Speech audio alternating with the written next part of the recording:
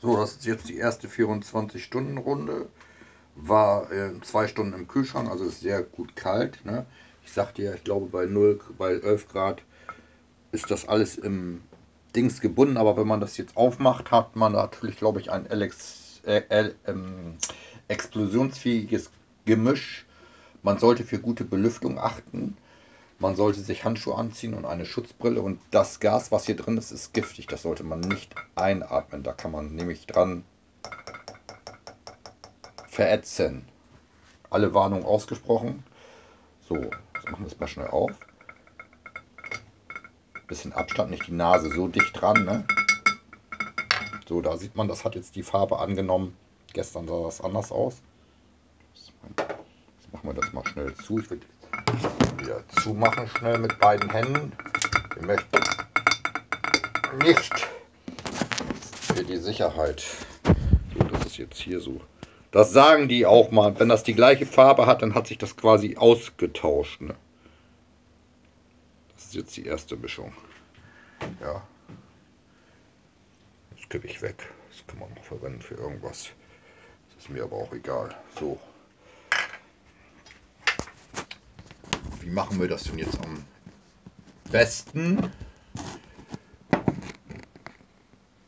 So, mal Licht hier an. Eine Spritze. Mal spülen.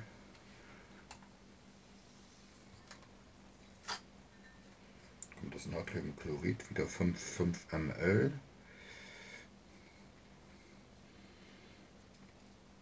Langsam ziehen. Das rote da, wo der Silikon, das aus einem Silikonleitung, das rote ist vom WD40, die, die Sonde. So, vier. Achtung, schon so ein kleiner Tropfen, der, schon so ein kleiner Tropfen davon, von diesen nicht, aber von, glaube ich nicht, von, dem, von der Salzsäure, ein, ein einzelner Tropfen. Der versaut euch die Hose und brennt euch ein Loch in, in die Haut. So.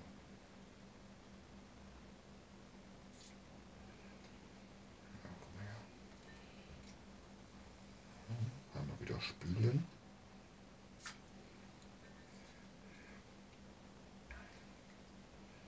So, jetzt holen wir uns wieder unsere 5 ml. So.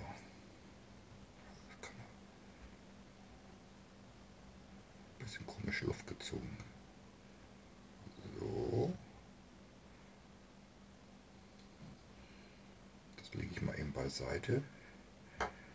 So, jetzt kommt das Ding erstmal wieder. Ach komm, wir wollen Videos nicht wieder so hier rein damit. Läuft das Video hier noch? Läuft das Video hier noch? So. Hier irgendwie was.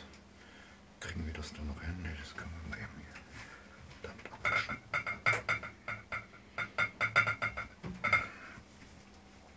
Damit man noch was sieht. Wie gesagt. Da sieht man, diese Silikondichtung sollte man auch nehmen.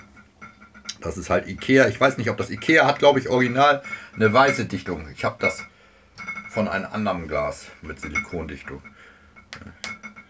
Da sieht man, das wollte hier, das gelbe Zeug wollte durch. So, jetzt kommt das Natriumchlorid hier rein. Und dann kommt schnell die Spritze hinein. So, einmal so. Vielleicht noch mal ein bisschen Luft ziehen. So, spüle ich gleich.